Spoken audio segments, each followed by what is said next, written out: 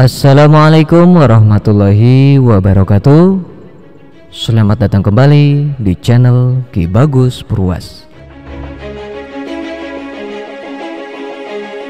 Channel ini akan selalu hadir untuk membahas tentang dunia spiritual dan supranatural yang tak kasat mata.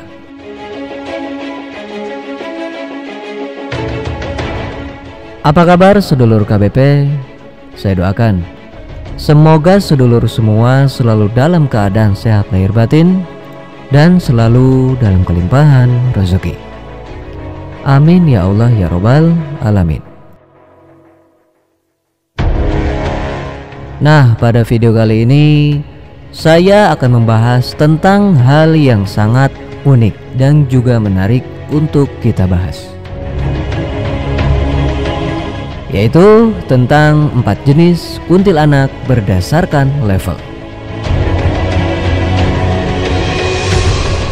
Indonesia merupakan salah satu negara yang memiliki beragam jenis hantu dan bentuknya. Mulai dari yang sangat kecil yaitu tuyul hingga yang paling besar dan menyeramkan seperti genderuwo yang ada di Indonesia. Salah satu hantu yang cukup populer dan tak lepas dari cerita masyarakat adalah kuntilanak. Namun, sebelum kita lanjutkan ke pembahasan yang lebih sakral, ada baiknya Anda klik tombol subscribe, lalu kemudian mengaktifkan lonceng di bawah ini agar kami semakin bersemangat untuk membuat konten-konten yang lebih menarik.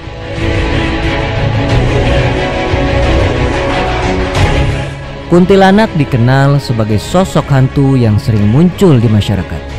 Sehingga tak jarang banyak yang ketakutan saat mendengar atau melihat sosok tersebut. Namun, tahukah Anda bahwa ternyata sosok kuntilanak memiliki banyak jenis dan warna? Kuntilanak tersebut bukan sekedar kuntilanak, Beda warna, maka beda pula level keagresifannya. Anda penasaran? Berikut penjelasan tentang jenis kuntilanak sesuai levelnya.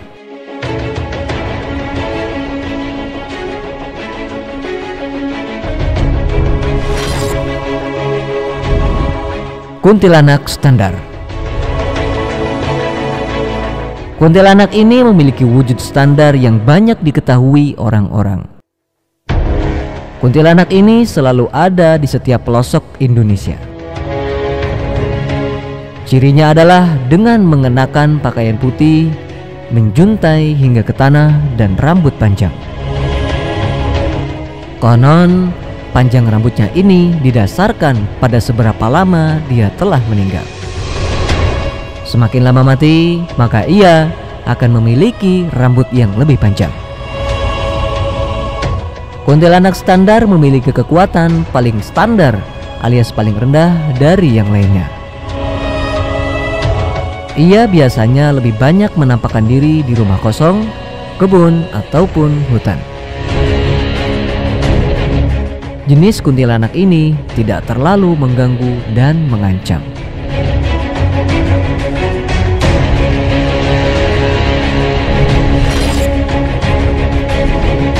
Kuntilanak merah. Seperti warnanya, kuntilanak ini memiliki pakaian berwarna merah seperti darah yang menjuntai hingga ke tanah. Konon, kuntilanak merah memiliki dendam dengan seorang yang telah membunuhnya. Inilah yang membuat mengapa baju dia berwarna merah, yakni akibat darah. Kuntilanak ini cukup agresif dan jahil menampakkan diri. Tanda penampakan ada kuntilanak merah adalah adanya bau amis darah dan suara tertawa yang melengking.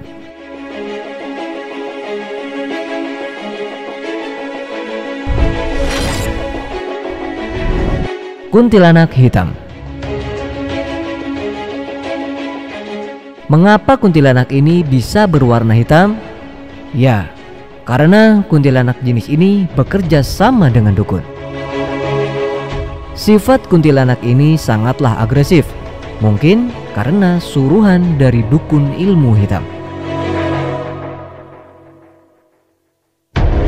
Apabila Anda bertemu dengan kuntilanak jenis ini, maka ia akan menguras banyak energi manusia, sehingga menyebabkan Anda cepat lemas.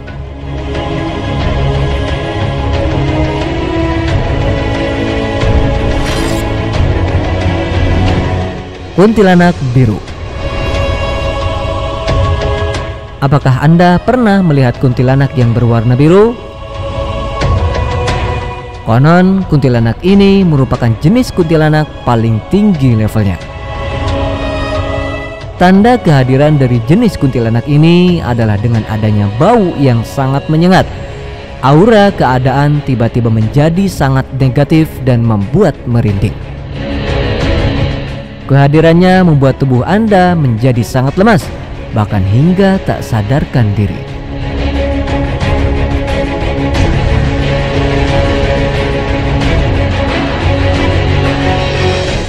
Jadi itulah tadi pembahasan tentang empat jenis kuntilanak berdasarkan level. Semoga bermanfaat. Saya Kebagus Buras. Assalamualaikum warahmatullahi wabarakatuh.